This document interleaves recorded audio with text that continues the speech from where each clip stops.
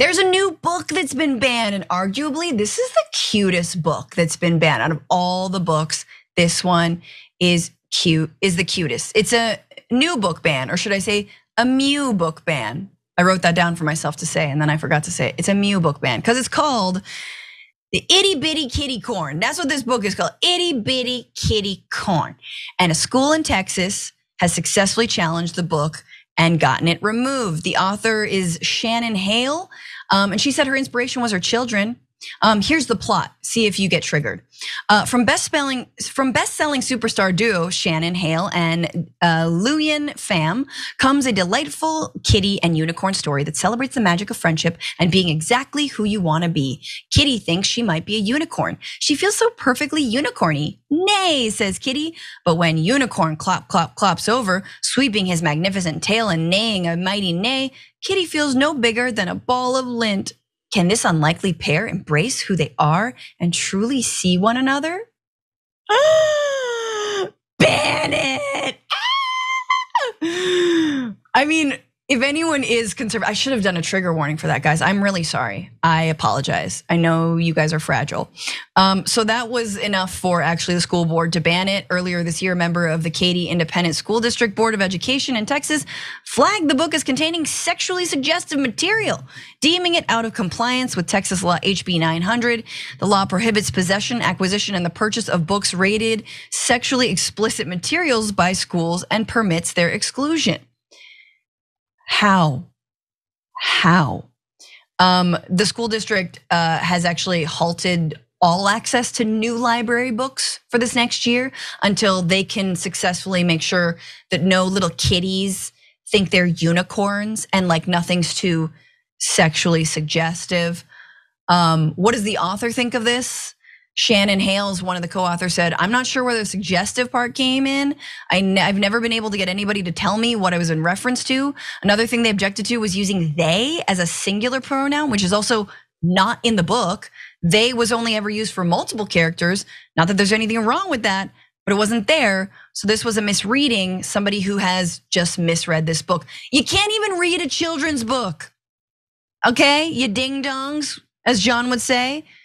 But take a look, Senator. What, do you think of this? Let's, let's, let's put up this uh, little image from it. Sexually suggestive. It's let's read it. Kitty thinks she might be a unicorn. A horn sits atop her fuzzy head, pointing up, up, up to the sky. She feels so perfectly unicorny. Look at me, says Kitty. It's a little kitty looking in the mirror. She's a unicorn. Next page. Nay, says Kitty. Nay, nay. She sticks her pink nose in their ears in case they didn't hear. Nay, you're a cat, said Parakeet. And that's that, said Gecko. Oh, and I'm sure, I mean, I can't wait to find out what happens, but uh Senator, I kind of know why. I know why they're banning this, but I maybe maybe you want to jump in here. No, I want to hear it. Look, it's it's don't you see it, Francesca? It's sex written all over this book. I mean, really. A pink kitty round. wants to be a unicorn that is sexy. How dare that kitty want to be a uniform? That's sexy. Got sex is is is is is reeking with sex. It will definitely harm children knowing that a kitty wants to grow up and become a uniform unicorn. These fools. I mean, I, I keep it PG. They crazy as hell. Lo- loonier than a tune. yeah, yeah. That's not a horn. That's a vibrator, y'all. Can't you see it? No. Okay. Did I make that up? Fine. Was it? Like, okay, first of all, here's my uh, putting on my transphobe glasses. Here's what I'll read into a kitty wants to identify as something that she's not biologically and also isn't real, a unicorn. So obviously the kitty's trans and no child who's trans should ever be supported. Like Senator, these are kids' Ooh. books. You know, a lot of crazy stuff goes down in kids' books that isn't real. Oh, I know. Rumpelstiltskin and yeah. Little Red Riding Hood, all that stuff, all that provocative stuff. Yep.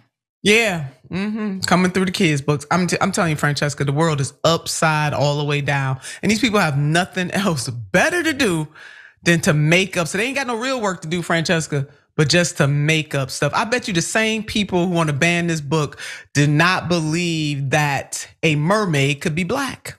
Yeah, exactly. That's them people. That's them same folks. No, these are no exactly. This is the same people like mermaids are white. Oh mermaids white. aren't real, homie. Like, like let's start there. like, what's wrong with you? No, this is just again. I think that when you said people, why, why don't you have anything better to do, guys? It's almost Halloween.